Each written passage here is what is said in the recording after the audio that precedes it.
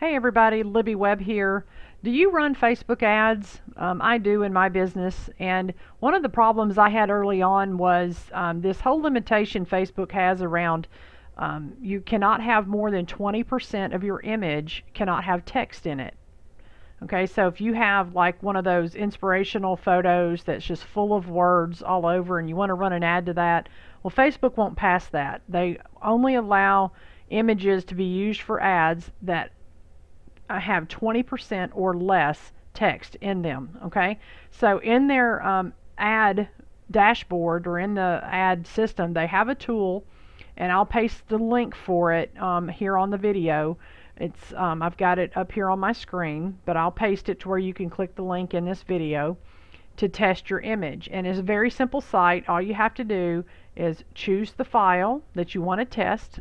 So this assumes you already have your image prepared with text. I have one here that we're going to test. You upload the image. And so now it's put it into quadrants for you. So all you have to do is click each box that has text in it.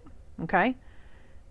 And at this point, all I have is 16%. I don't exceed the 20% mark. But say I didn't have this position quite right and it ran down into this box because this is a pig, it's not words, that is okay. But if it ran down into this box, you can see that that would exceed 20%.